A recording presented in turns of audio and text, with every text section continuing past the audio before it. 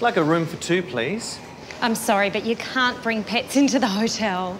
It's not a pet, it's my wife. You're married to a sheep. Yeah, you got a problem with that? Who you choose to marry or not to marry is no concern of mine, sir. Damn right. It's just that this hotel is forbidden under the law to allow animals into the room. What do you think human beings are? We're all animals. Yeah, but. But nothing.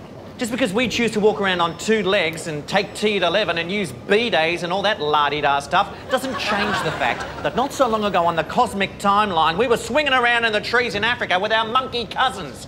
Now, don't tell me that my wife can't enjoy a quiet holiday in a quality hotel purely because she's got cloven hooves and likes to munch on the odd blade of grass. So your wife is taking a dump?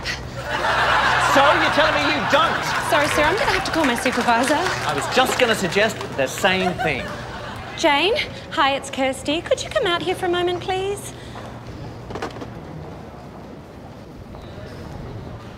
Jane, I didn't know you were working here. Long time no see. Settle, honey, we're just friends. You look great. Take a look at the bill, sir, and confirm that all the uh, charges to your room are correct. Thanks.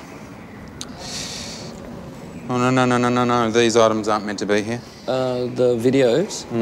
I didn't watch any videos. So you didn't watch Rump Busters or Anal High 3? I most certainly did not. That's not what it says here, sir. Well, I emphatically deny that I watched any pornographic videos, and I resent the fact that you're suggesting that I did. Oh, no, no, no. I... Sorry, my mistake. I know what's probably happened. Those hookers that I had in for the night, they must have started watching them after I passed out. That would explain it, sir. Mm, sneaky hoes. You can't trust them. Like to check out, thanks, room 402. 402? Mr. Doyle, one night. Did you enjoy your stay? Yeah, it's fine, thanks. Well, that's $140, but your employer seems to be paying for that, although sundries aren't included. Anything from the minibar? Um.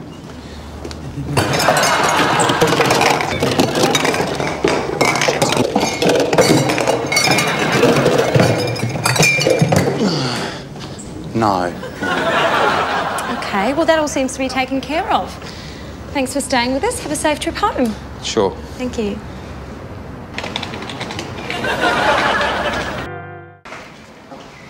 Good afternoon. Uh, we've got a double room booked in the name of Dawkins. Mr. and Mrs. Dawkins? That's right.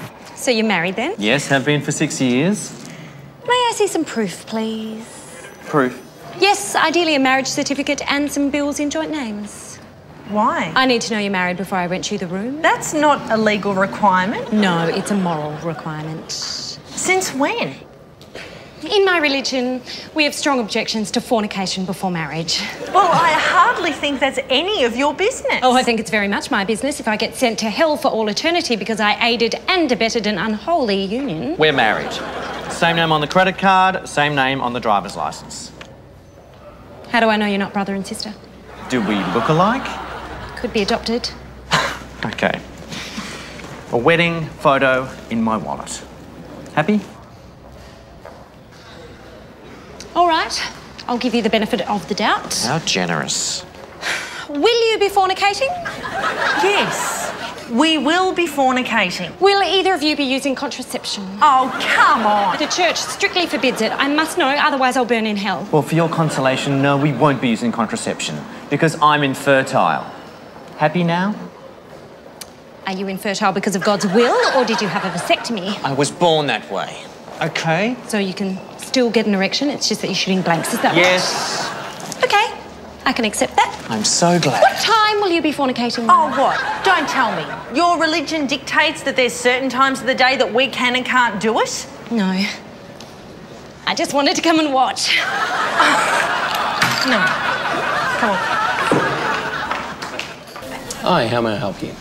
Um, I stayed here last week and I think I may have left my alarm clock behind. Right, what room was that? 23. And can you describe the clock for me? Mm hmm It was pink and it was about seven inches long with ridges on the side of it.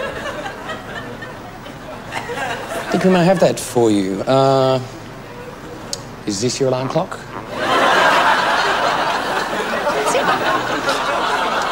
could of assistance.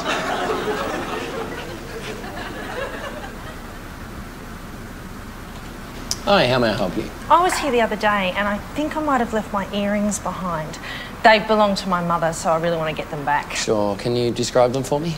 They were black. Um, they were about 12 inches long. They had thick, veiny looking things down the side and um, big dangling balls at the let's have a look. Um,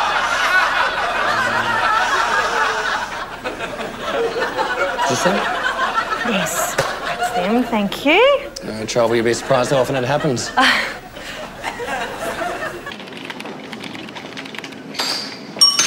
Morning, sir.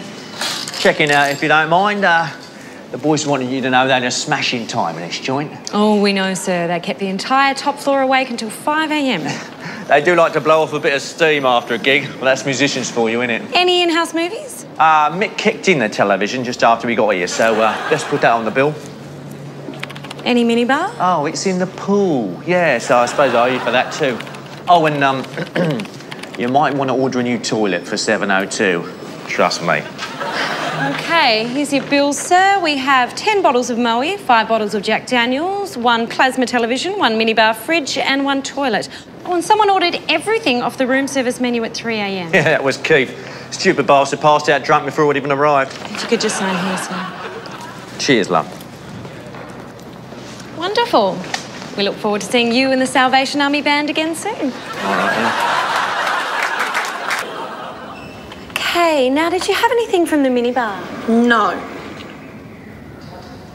You sure you didn't have anything from the minibar last night? Okay. So I drank the whole lot.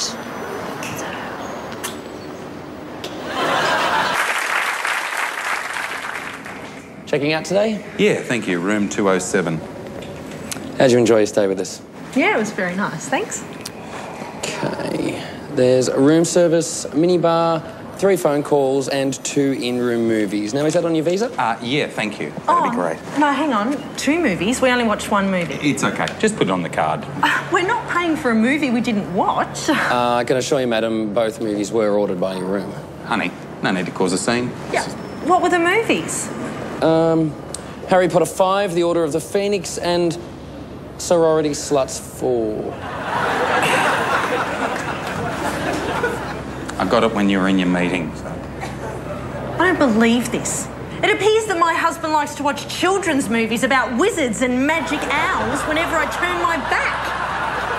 Harry Potter? How old are you? You're sick.